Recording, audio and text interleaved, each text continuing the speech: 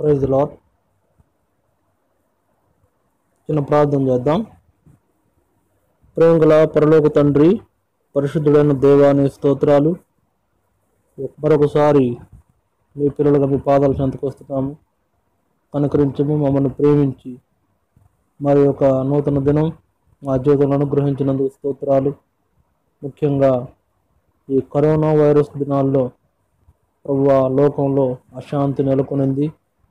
ప్రజల్లో ఎంతో భయంతో కూడిన వాతావరణం ఉండింది. చాలామంది ప్రజలు చనిపోతూ లోకమంతా కూడా ఇబ్బందికరంగా మారిపోయింది దేవా.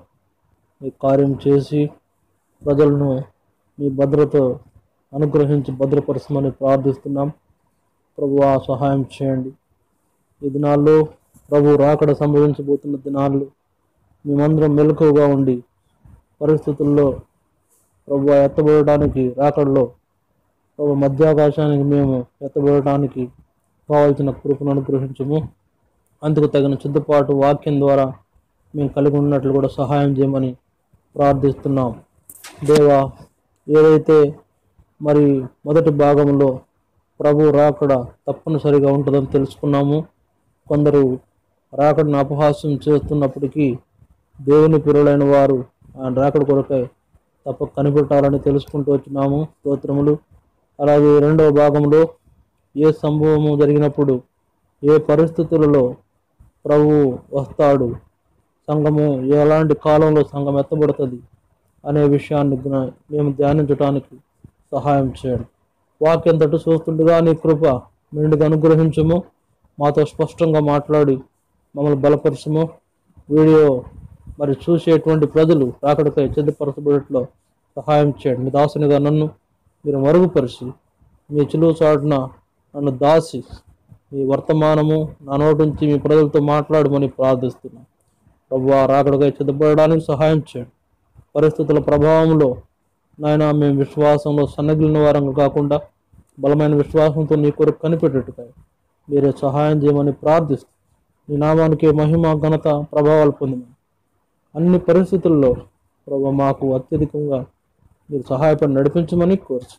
యేసుక్రీస్తు వారి శ్రేష్టమైన నామమున మిమ్మల్ని స్థుతిస్తూ ప్రార్థించి వేడుకుంటున్నాం తండ్రి. ఆమెన్. ఇలారా మరొకసారి యేసుక్రీస్తు ప్రభువు అతి శ్రేష్టమైన నామమున మీకు శుభములు తెలియజేస్తున్నాను. మరి ఈ దినాల్లో ప్రభు రాకడ కొరకై మనం సిద్ధపడవలసిన అవసరత చాలా ఉంది. కనుక మొదటి భాగంలో వర్తమానంలో ప్రభు రాకడను గురించి అపహాస్యం చేస్తున్నటువంటి మరి లోకస్తులు భక్తిహీనులు మరి అపహాస్యం చేస్తున్నటువంటి దినాల్లో మనం ప్రవేశించాం. కనుక అలాంటి దినాల్లోనే ప్రభు అకస్మాత్తుగా వస్తాడని మరి వాక్యం ద్వారా మనం తెలుసుకుంటూ వచ్చినాం. ప్రభు తప్పనిసరిగా వస్తాడు అనేది మనకు మరి వాక్యాన్ని బట్టి అర్థమైంది. అయితే ఈ రెండవ భాగంలో ప్రభు ఎప్పుడు వస్తాడు? ఎలాంటి పరిస్థితులు లోకంలో సంభవించినప్పుడు ప్రభు వస్తాడు? ఆయన ఎవరిని తన యొద్దకు తీసుకుని వెళతాడు? అది ఎప్పుడు జరుగుతుంది? ఎలాంటి పరిస్థితులు సంభవిస్తాయనేది ఈ వర్తమానంలో మనం తెలుసుకునే ప్రయత్నం చేద్దాం. దేవుని యొక్క వాక్యము మొదటగా మనం చదువుకుని కొంత వర్తమానంలోకి వెళ్ళే ప్రయత్నం చేద్దాం. చూడండి. మరి దేవుని యొక్క వాక్యంలో మొదటి దశలోని కైలకు రాసిన మొదటి పత్రిక ఐదో అధ్యాయం మొదటి మూడు వచనాల్లో మనం చదువుతాం. దశలోని కైలకు రాసిన మొదటి పత్రిక ఐదో అధ్యాయం మొదటి మూడు వచనాలు. నేను చదువుతున్నాను. మీరు కూడా మీరు మీ బైబిల్ తీసి వచ్చిన భాగాలను చదివి ఈ ధ్యానించే విషయంలో మీరు కూడా మరి ఆసక్తి కలిగి ఉండాలని ప్రేమతో మనవి చేస్తున్నాను. ఈ వచనాలు మూడు వచనాలు చదువుదాం. మొదటి దశలోనిక ఐదు మొదటి మూడు వచనాలు. సహోదరులారా ఆ కాలములను గూర్చియు ఆ సమయములను గూర్చియు మీకు వ్రాయనక్కరలేదు. రాత్రి వేళ దొంగ ఎలాగ వచ్చునో అలాగే ప్రభు దినం వచ్చునని మీకు బావుగా తెలియను.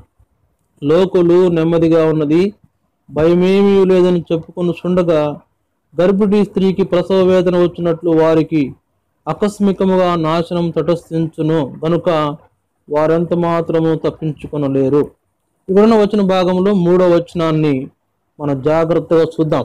లోకులు నెమ్మదిగా ఉన్నది భయమేమీ లేదని చెప్పుకునుచుండగా ప్రభు వస్తాడు అనేది మన వాక్యాన్ని బట్టి గ్రహించాల్సిన అవసరం. ఉంది కనుక లోకులు భయముగా మరి భయం ఏమీ లేదు.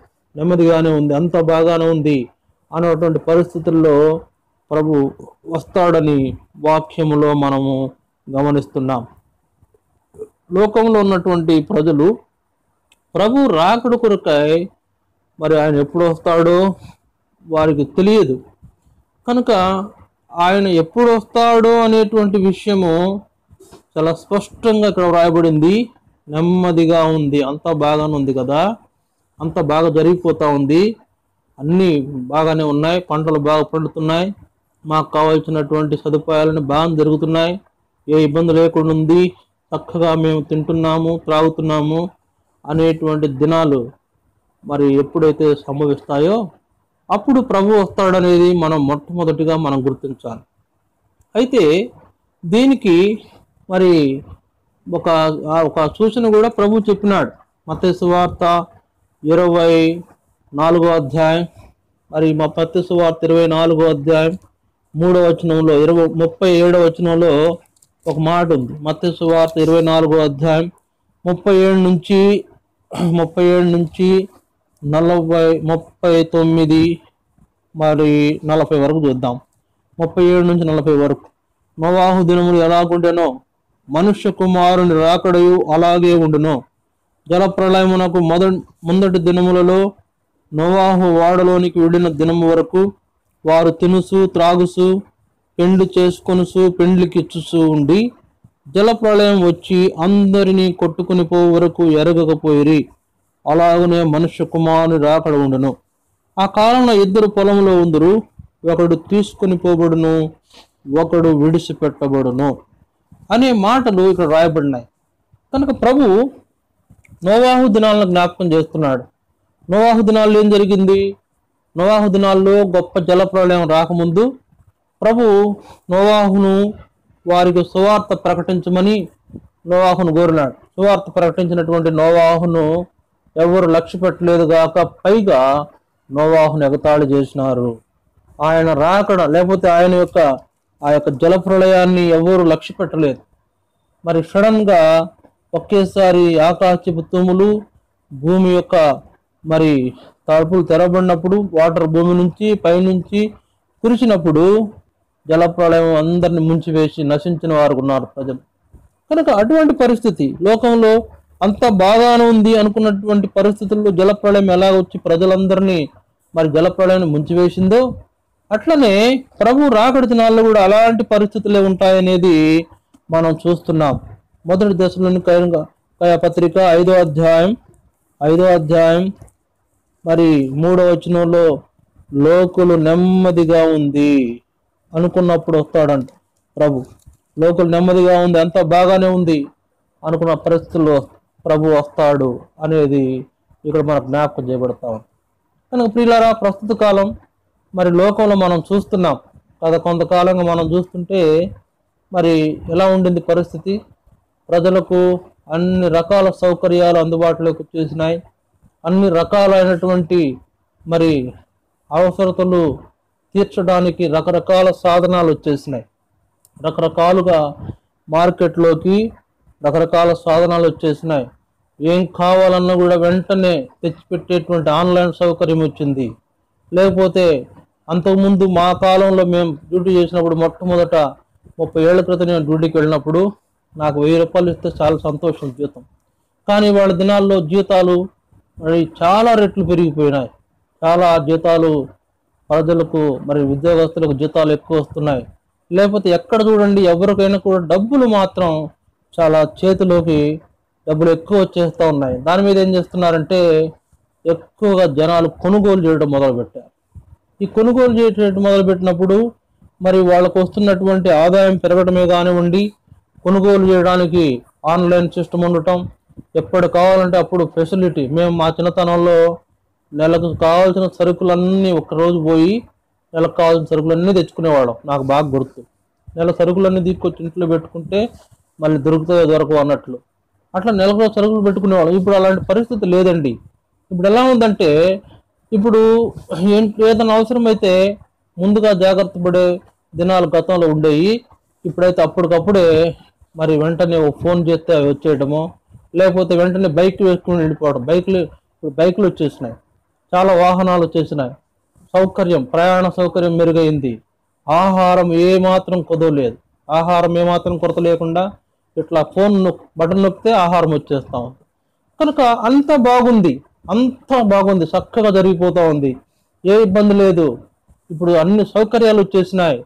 ఇక మాకు దిగులేముంది. చక్కగా జరిగిపోతూ ఉంది. మేము చక్కగా తినుస్తున్నాము. ఆహారం సౌలభ్యంగా దొరుకుతుంది చక్కగా త్రాగుతున్నాము.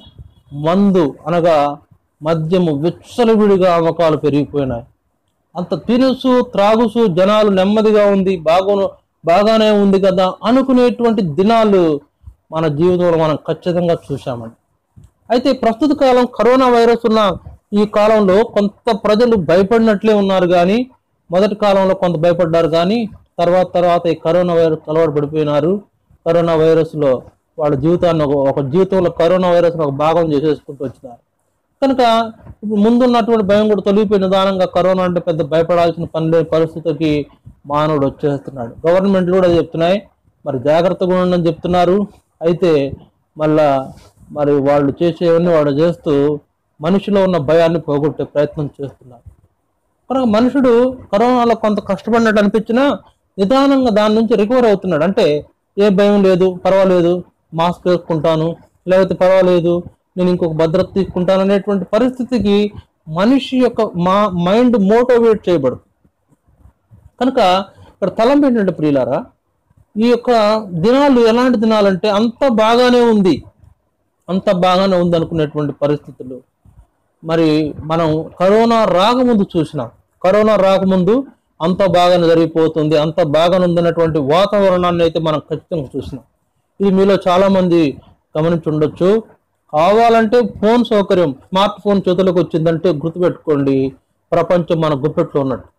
స్మార్ట్ ఫోన్ ఒకటి మన చేతిలో ఉంటే ప్రపంచం గుప్పెట్లో ఉన్నట్టు. ఒకళ్ళు ఏ డబ్బు లేదు నేను డబ్బు ఇస్తానని ఆ ఫోన్లో ఒక ఆఫర్ వస్తుంది నీకు కనుక నేను లోన్ ఇస్తాను తీసుకో నీకేం కావాలి కొనుక్కో అనేటువంటి ఆఫర్స్ వచ్చేసేటువంటి పరిస్థితులు మనిషికి సంభవించినాయి. అలాంటి పరిస్థితుల్లో ఏ లోపం లేకుండా చాలా చక్కగా మనుషుడు జీవనం చేస్తూ బాగుంది అనుకున్నటువంటి దినాలు గత కొంతకాలం క్రితం దాకా మనం చూస్తూ వచ్చినాం. ఈ కరోనా వైరస్ లేకపోతే ఇంకా సంభవిస్తున్నటువంటి కొన్ని కొన్ని కొత్త సంగతులన్నీ కూడా ఇవి ప్రభు రాకడకు సూచనల్లో మొదటి భాగం. రాకడకు ఆరంభం మాత్రమే ఇది. ప్రభు రాబోతున్నాడు అనడానికి ఈ సూచనలకు ఆరంభం. ఏది? Corona virus. ఈ దినమే నేను చూసినాను. తెల్లవారుజామున మూడు గంటలకి విశాఖపట్నం వెంకటాపురం దగ్గర ఏదో ఒక ఫ్యాక్టరీలో పాలిమార్స్ ఫ్యాక్టరీలో గ్యాస్ ఒక రసాయనం లీక్ అయ్యి ఒక కొంతమంది ప్రజలు ప్రాణాలు కోల్పోయినారు. ఆ ప్రాంతం అంతా భయభ్రాంతులకు గురైపోయింది. మరి దేశము రాష్ట్రం మొత్తం కూడా వై- విశాఖపట్నం వైపు ఫోకస్ చేసినాయి. విశాఖపట్నాన్ని గురించి ఆలోచించినాయి. ఈ దినమంతా కూడా చాలా మంది ప్రజలు విశాఖపట్నం అబ్బా అక్కడ అంత భయంకరమైన పరిస్థితి ఏర్పడింది అని చెప్పుకున్నటువంటి పరిస్థితి ఉంటుంది అయితే ప్రస్తు- ప్రస్తుత కాలము ప్రియులారా ప్రారంభం మాత్రమే దేవుని రాకడకు జరిగేటువంటి సూచనల్లో కరోనా వైరస్ వైరస్ ప్రారంభం. తర్వాత దీని తర్వాత ఇంకా భయంకరమైన తెగుళ్ళు ప్రకటన గ్రంథములో ఆరో అధ్యాయం నుంచి దాదాపుగా పద్దెనిమిదో అధ్యాయం వరకు వ్రాయబడిన తెగుళ్ళన్నీ కూడా రా- రాబో కాలంలో ఒకటొకటే లోకం మీదకు రాబోతా ఉన్నాయి. ఇది ఒక సూచన. అంటే నేను చెప్పినట్టు లోకంలో అంతా బాగుంది పంటలు బాగా పండుతున్నాయి అన్ని సౌకర్యాలు ఉన్నాయి. నాకు మరి ఇప్పుడు స్మారు ఏమంటే అవి అవి వచ్చేసినాయి. ఏమంటే మాల్స్ వచ్చేసినాయి. మాల్స్ సౌకర్యం ఉంది.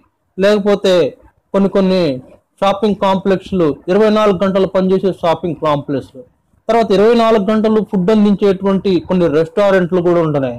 ఫుడ్కు కొరత లేదు మందుకు కొరత లేదు మానవుని యొక్క జీవిత విధానానికి ఏ కొరత లేదు సౌకర్యంగా జీవిస్తున్నాడు. ఎంత బాగానుంది చక్కగా జరిగిపోతుంది అనుకునేటువంటి పరిస్థితులు మానవుడు జీవిస్తున్న సమయంలో ప్రభు రాకడకు సూచనగా కరోనా వైరస్ ప్రారంభ దశ మాత్రమే. కరోనా వైరస్ ప్రభు రాకడను చూపించే మొట్టమొదటి ప్రక్రియ. ఈ మొట్టమొదటి ప్రక్రియ జరుగుతున్నప్పుడు ప్రియులారా లోకంలో భయంకరమైనటువంటి వాతావరణం మనం చూస్తున్నాం. లోకంలో మానవుని యొక్క మరి మానవుడిని నిశ్చేష్టుడు లేకపోతే నిస్సహాయ స్థితిలో మనం చూస్తున్నాం. దీనికి ముందు వరకు మానవుడు ఎంతో అతిశయించిన వాడు ఉన్నాడు. నాకు ఎదురే లేదని ప్రవర్తించినటువంటి వాడు ఉన్నాడు. సామాన్య మానవులే కానివ్వండి అధికారులే కానివ్వండి నాయకులే కానివ్వండి రాజులు కానివ్వండి ఎవరు కానివ్వండి వారి యొక్క మాటల విధానం ఎలా ఉండిందంటే మాకు ఎదురే లేదన్నట్లుంది. ఇప్పుడు పరిస్థితి కొద్దిగా కరోనా వైరస్ వచ్చేసరికి కొంత వాళ్ళు కొద్దిగా కంగారు పడుతున్నారు. గతంలో వారు ఉన్నటువంటి పరిస్థితి ఏం చూపించిందంటే ఏం అంత బాగానుందని అంత బాగానుంది మేము ఆర్థికంగా డెవలప్ అయిపోతున్నాం. మేము ఆర్థికంగా బలపడి లాభాల వైపు తీసుకువెళ్తున్నాం మా దేశాన్ని అని ప్రతి దేశం వాళ్ళు చెప్పుకున్నారు. మరి ఎవరికి వాళ్ళే మా దేశాన్ని ఆర్థికపరమైనటువంటి ధనిక దేశంగా చేసుకోవాలని ఏ దేశానికి ఆ దేశానికి ప్రయత్నం చేసి కొంతవరకు సఫలమైనాయి. అయితే ఇప్పుడు కరోనా వైరస్ దేవుని రాకడకు సూచనల్లో ప్రారంభములో ప్రారంభ దశలో ఉన్నటువంటి కరోనా వైరస్ వల్ల ఇప్పుడు ఏమవుతుందంటే లోకంలో ఉన్నటువంటి ఎకానమీ వరల్డ్ ఎకానమీ కొలాప్స్ అవుతుంది. వరల్డ్ ఎకానమీ కొలాప్స్ అవుతుంది. వరల్డ్ ఎకానమీ అంటే మరి ప్రపంచ ఆర్థిక వ్యవస్థ కుప్పకూలిపోతా ఉంది. ఏ దేశం కూడా ఏం చేయలేక వాళ్ళు కరోనా ఖర్చు పెడుతున్నారు మొత్తం. మొత్తం కరోనా ఖర్చు పెడుతున్నారు. కరోనాలో లాక్డౌన్ ప్రకటించుకుని మరి బయట జరగడానికి వీల్లేక అటు ఫ్యాక్టరీలు తెరవక ఇటు జీవనాధారాన్ని కోల్పోయి లేకపోతే గవర్నమెంట్ డబ్బు డబ్బులు లేక మరి ఇట ఉద్యోగస్తులకు జీతాలు రాక ఏమైందంటే కొనుగోలు ఉంటేనే కాస్త ఆర్థిక రంగం బాగుంటుంది. కొనుగోలు పడిపోయినప్పుడు ఆటోమేటిక్గా ఆర్థిక ఆర్థిక రంగం పడిపోతుంది. కనుక టోటల్గా వరల్డ్లో ఉన్న దేశాలన్నీ కొప్పుకూలిపోయినాయి. కనుక ఇదేం చూపిస్తుంది అంటే ప్రభు రాకడం చూపిస్తూ ఉంది. వరల్డ్ ఎకానమీ కొప్పుకూలిపోవడం ప్రభు రాకడం చూపిస్తూ ఉంది. వరల్డ్ ఎకానమీ ఎప్పుడైతే కొప్పుకూలిపోతుందో అప్పుడు మరి ఒక విధానం వస్తుంది. ఒక విధానం వస్తుంది. ఆల్రెడీ ఆ విధానాన్ని ఒక ఒక సంస్థ ప్రారంభించిందంట వర్క్ మరి డార్క్ వరల్డ్ అనేటువంటి ఒక సంస్థ ఈ విషయాలను ప్రారంభించింది. ఏంటంటే ప్రపంచ ఆర్థిక వ్యవస్థని తమ చేతుల్లో తీసుకోవాలి. దాన్ని ఏమంటారంటే world dark mafia. World dark world dark mafia ప్రపంచ ఆర్థిక వ్యవస్థను తమ చేతుల్లో తీసుకోవాలి. అందుకు ఏం చేస్తున్నారంటే పిల్లారా ఈ కరోనా వైరస్ సంభవించింది కదా. కరోనా వైరస్ ఎందుకు సంభవించింది కూడా నేను చెప్తా. కరోనా వైరస్ డార్క్ వరల్డ్ అనేటువంటి సంస్థ మరి అనేక మంది పెద్దలు ఇందులో ఉన్నారు. పెద్ద పెద్ద వాళ్ళు మిలినియర్స్ బిలినియర్స్ ఇందులో ఉన్నారు. వాళ్ళు సృష్టించింది ఈ కరోనా వైరస్. వాళ్ళ ద్వారా ఈ కరోనా వైరస్ సృష్టించి వాళ్ళు లీక్ చేసి ఈ విధంగా ప్రపంచానికి ఒక జరికిచ్చింది ఖచ్చితంగా డార్క్ వరల్డ్. అంటే ఆ యొక్క చీకటి సామ్రాజ్యం చీకటి సామ్రాజ్యపు శక్తి లోకంలో బాగా పనిచేస్తూ ఉంది. ప్రియులారా, ఏ- ఎలా పనిచేస్తా ఉంది కరో ఈ యొక్క మరి కరోనా వైరస్ వలన సంభవించే పరిస్థితులు చెప్తా చూడండి. కరోనా వైరస్ వలన సంభవించే పరిస్థితులు ఏంటంటే కరోనా వైరస్ నువ్వు లాక్డౌన్ నువ్వు ఇంట్లోనే ఉండాలి. స్టే హోమ్ నువ్వు ఇంట్లోనే ఉండు బయటకు రావద్దు. నీకు ఏదైనా అవసరమైతే గవర్నమెంట్ ఇస్తుంది. నీకు ఏదో అవసరమైతే మేము సప్లై చేస్తాం పొరపాటు నువ్వు బయటకు రావద్దు అని కట్టడి చేశారు. నిజమే గవర్నమెంట్ కొన్ని కొన్ని చోట్ల మరి కూరగాయలు అందిస్తూ ఉంది బియ్యం అందిస్తూ ఉంది. మన రేషన్ అందిస్తూ ఉన్నారు గవర్నమెంట్ వాళ్ళు. కేంద్ర- కేంద్ర గవర్నమెంట్ కానీ రాష్ట్ర గవర్నమెంట్ కానీ రేషన్ ఇస్తున్నారు కొంత డబ్బు కూడా ఇస్తున్నారు. ప్రజలకు మేము ఉన్నాం మేము ఇస్తాం మేము భయపడ బయటకు రావద్దని చెప్పేసి వాళ్ళని ఇంట్లో కూర్చోబెట్టారు. ఇది మంచి విషయమే. దాన్ని మనం తప్పట్టేది కాదు. ఇది మన గవర్నమెంట్ వాళ్ళు చేస్తున్న మంచి సంగతి. అయితే ఇంకొక విషయం ఉంది. ఈ మధ్యలో ఈ వార్త కూడా చాలా చాలా ఏమైందంటే మంచి ప్రాచుర్యంలోకి వచ్చింది. ఏంటది? డబ్బులు పట్టుకోగానే డబ్బులు పట్టుకుంటే వాటి మీద కూడా కరోనా ఉంటుందంట. వాటిని పట్టుకుంటే మీకు కరోనా వచ్చేస్తుందంట అని చాలా మంది డబ్బులు కాల్చి కాల్చివేశారు కొంతమంది పారేశారు. డబ్బుల్ని అట్లాగా చాలా మంది డబ్బులు పట్టుకోవడానికి భయపడినారు. ఈ పరిస్థితి తీసుకురావడమే వరల్డ్ డార్క్ వరల్డ్ యొక్క ఉద్దేశం. డబ్బు పట్టుకోవద్దు నువ్వు ఆన్లైన్ ట్రాన్సాక్షన్స్ చేయి ఆన్లైన్లో ఆర్డర్ చేయి వచ్చేస్తుంది. ఈ విధానం తీసుకురావాలి. ఈ డబ్బు పట్టుకోవద్దు అమ్మో డబ్బు పట్టుకుంటే కరోనా వస్తుంది.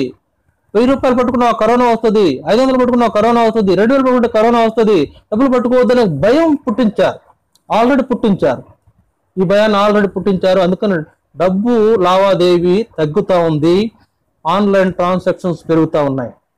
డబ్బులు పట్టుకుంటే కరోనా వస్తుందని ఒక భీతిని పుట్టించి డబ్బును ముట్టుకోకుండా ఆన్లైన్ ట్రాన్సాక్షన్స్ చేసేటువంటి స్థితికి ఈ యొక్క డార్క్ వరల్డ్ అంటే చీకటి సామ్రాజ్యపు శక్తులు అలాంటి పరిస్థితులు ప్రపంచాన్ని నెట్టినాయి ఇది ఒక విషయం.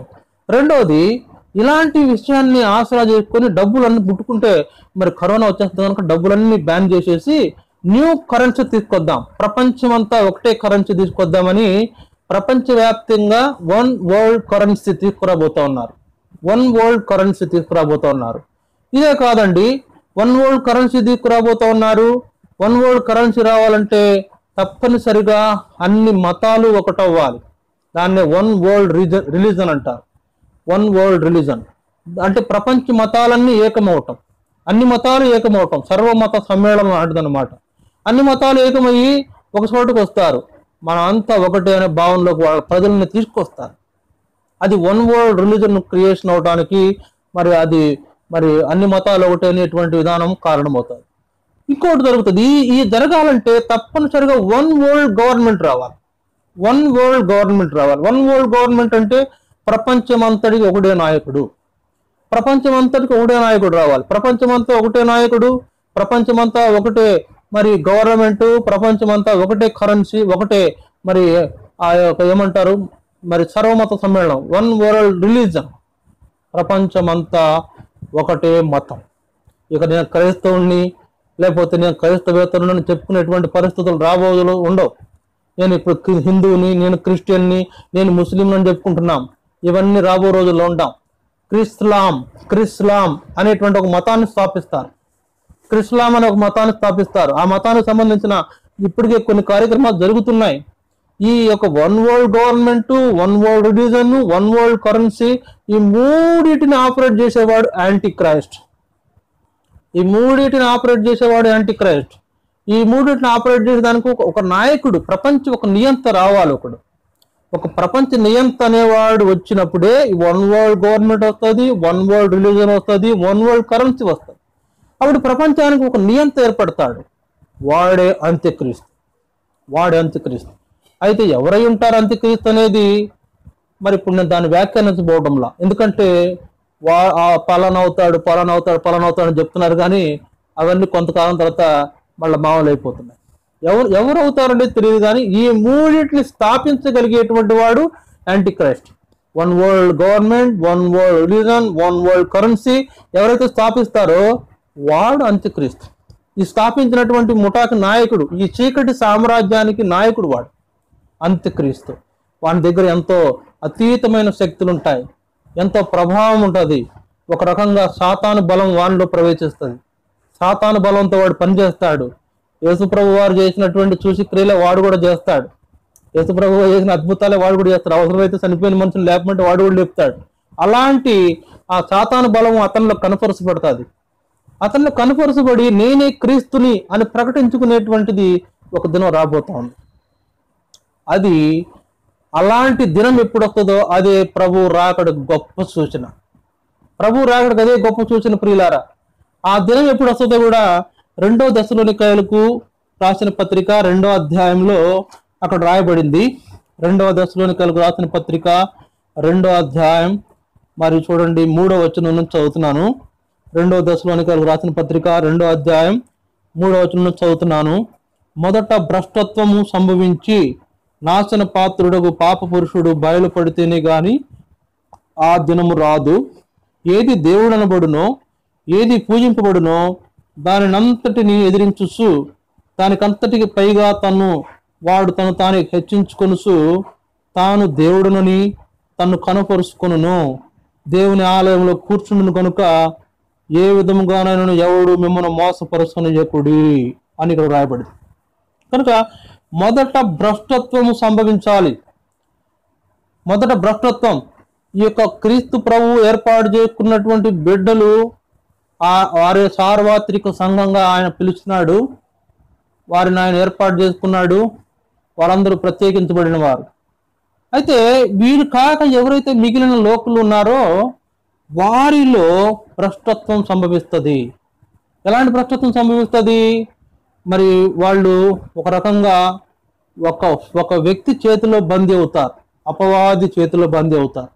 అందుకని మనం చూసినాం రెండవ తిమోతి పత్రికలో కొన్ని మాటలు ఉన్నాయి రెండవ తిమోతి పత్రిక మరి మొదటి తిమోతి పత్రిక నాలుగవ అధ్యాయంలో కొన్ని మాటలు ఉన్నాయి అయితే కడవరి దినములు మొదటి వచ్చినాం నాలుగు మొదటి వచ్చినాం అయితే కడవరి దినములలో కొందరు అబద్ధికుల వేషధారణ వలన మోసపరుసు ఆత్మల ఎందును దయముల బోధ ఎందును లక్ష్యముంచి విశ్వాస భ్రష్టులవుదురని ఆత్మ తేటగా చెప్తున్నాను కనుక ఎవరంటే దేవుని ఏర్పాట్లోకి రానటువంటి వాళ్ళల్లో భ్రష్టత్వం సంభవించుద్ది.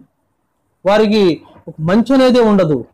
వారెంత దుర్మార్గంగా ప్రవర్తించే ఉంటారు దేవుని భయం ఉండదు. అంతా కూడా సాతాను యొక్క క్రియలు కనపరిచేటువంటి స్థితి వారి సంభవిస్తుంది. భ్రష్టత్వం మొదట భ్రష్టత్వము సంభవించి నాశన పాత్రుడు పాత్రుడకు పాప పురుషుడు బయలుపడితేనే గాని ఆ దినము రాదు. నాశన పాత్రుడగు పాప పురుషుడు అనగా అంత్యక్రీస్తు బయలుపడితే ఆ దినం ప్రభు రాకడ తథ్యం. ఎప్పుడైతే అంత్యక్రీస్తు నేనే క్రీస్తునని ప్రకటించుకుంటాడో ప్రభు రాకడ తథ్యం. వెంటనే మరి కొద్ది క్షణాల్లో అంటే కొంత మార్పు జరిగిపోయిద్ది రెప్పపాటులో ఆయన సంఘం ప్రభు దగ్గరికి వెళ్ళిపోతుంది ఇది అతి త్వరలో సంభవించనన్న సంఘటన. అయితే ప్రియులారా ఇక్కడ ఒక తలంపు కూడా ఉండింది. యూదులు యూదులతో వాడు సంధి చేసుకోవాలి.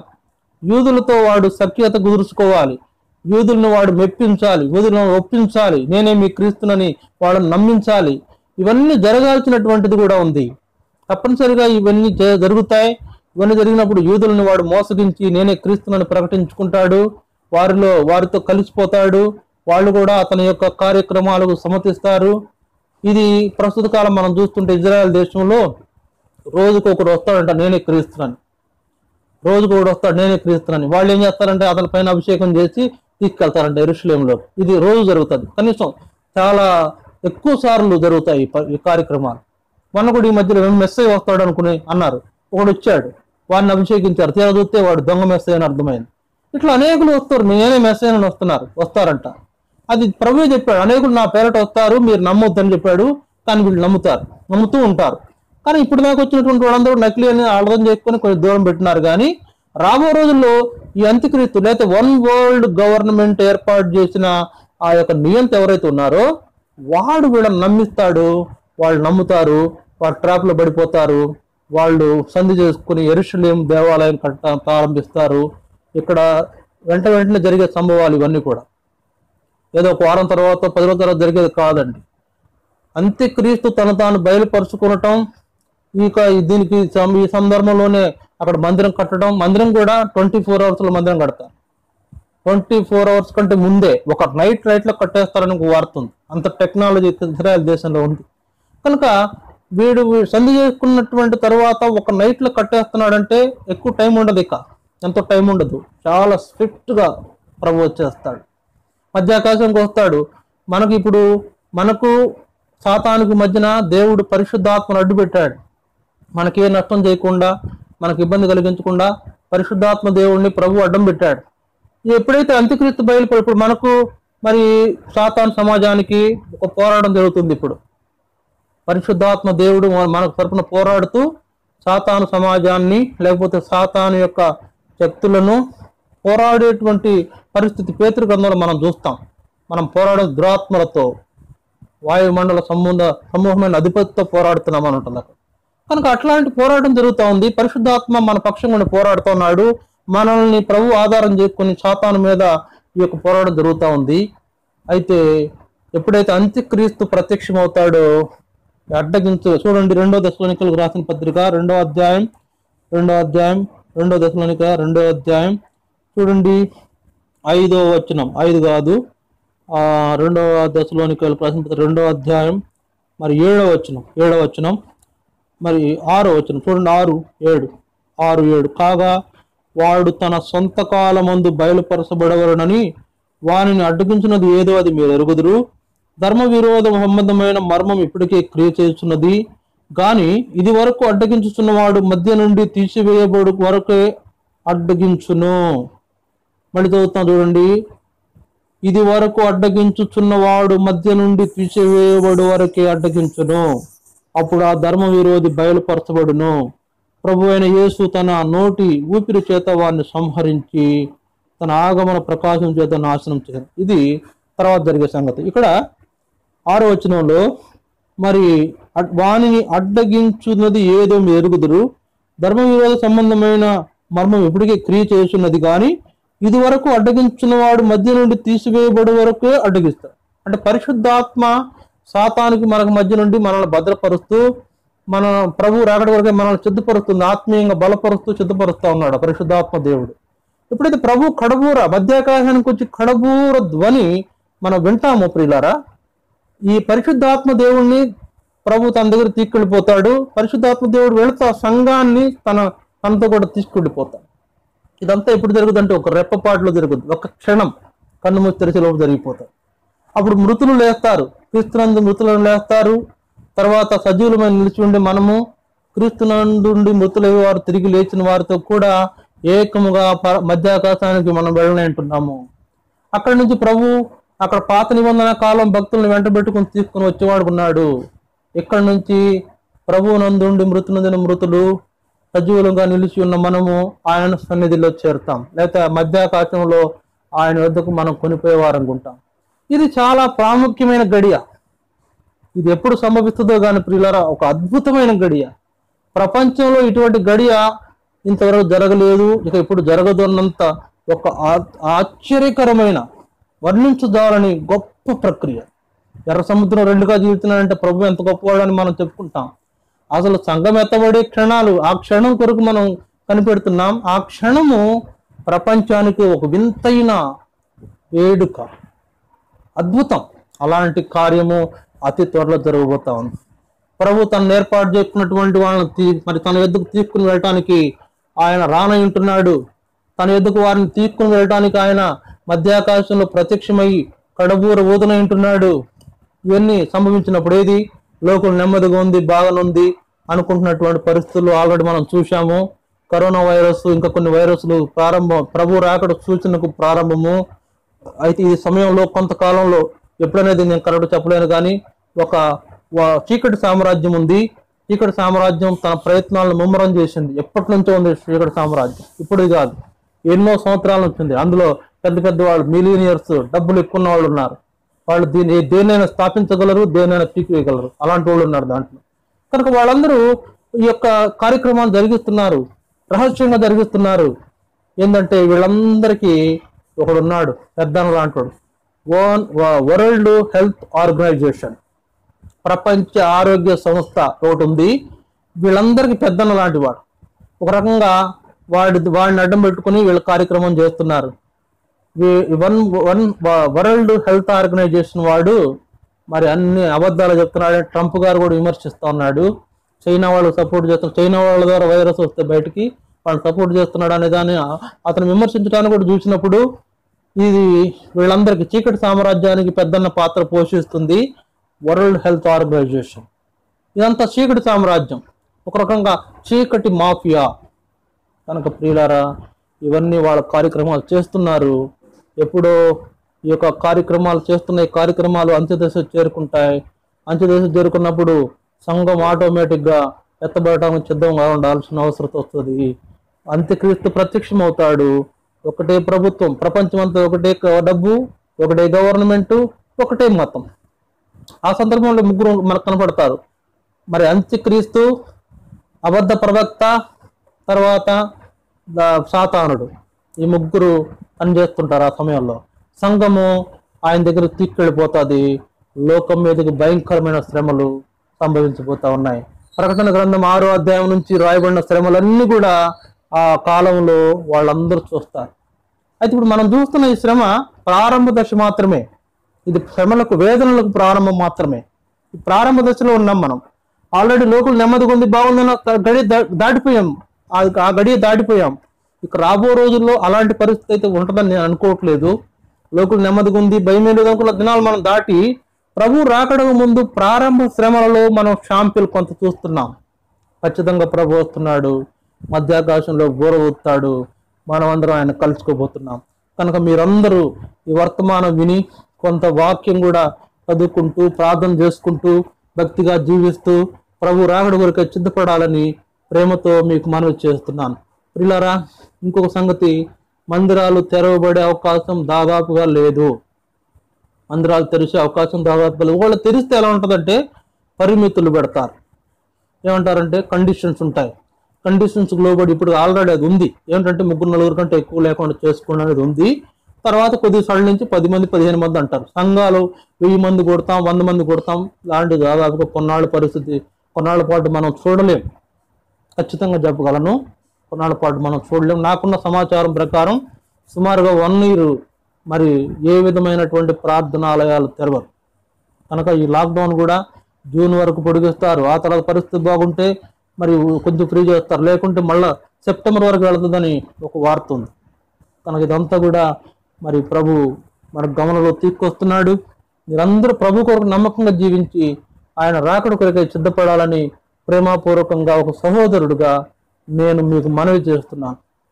మనం ఇంతకాలము ఆత్మానుసారంగా జీవించి ఇంతకాలం ప్రభు కొరకు ఎన్నో శ్రమలు పడి ఎన్నో ఇబ్బందులు ఎదుర్కొని విశ్వాసంతో మరి జీవించాం. విశ్వాస విషయంలో మన జీవితం పోరాటంతో కూడుకున్నదిగా జీవించాం. ఆత్మానుసారంగా ఆరంభించి జీవించి శరీరానుసారంగా మనం ముగిస్తే మన గత ఏమిటి విడవబడతాము. ఎంతో శ్రమల్లో మనం చిక్కుకుపోతాం.